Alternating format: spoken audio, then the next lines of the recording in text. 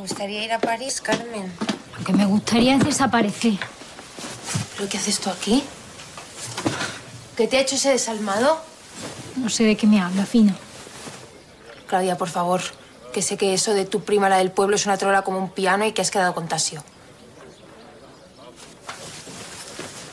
¿Eh? ¿Se habrá pasado contigo? Porque si es así de verdad no, que... Fina, que no. Me ha dejado plantar en la puerta del cine. ¿Pero por qué? Yo qué sé. Estará ahí en la cantina con sus amigotes diciendo mira la cinta de Claudia la puerta del cine esperándome. Me gustaría decirte que seguro que tiene una buena excusa, pero viniendo de Tasio...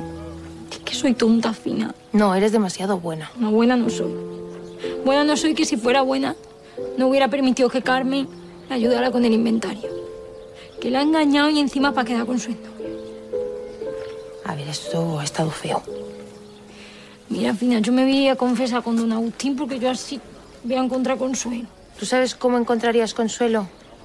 Confesándote con Carmen. ¿Pero tú qué quieres, que me mate o qué? Pero que ella es mucho más comprensiva de lo que te piensas. Hazme caso. No, Fina, que yo no me voy a arriesgar a que me quite la palabra de por vida. Bueno, ¿y yo qué? ¿Que, que también me quieres quitar la palabra? No, no, pero a mí me estás poniendo en una situación muy difícil. Me obligas a guardar un secreto. No, no puedes decir nada. No lo vas a hacer, ¿no? No, pero tampoco quiero mentir a Carmen. Es que no es mentir, ¿eh? ¿eh? No habla del tema adrede. Fina. Fina, prométeme que no le vas a decir nada, por favor. Yo te prometo que he aprendido la lección.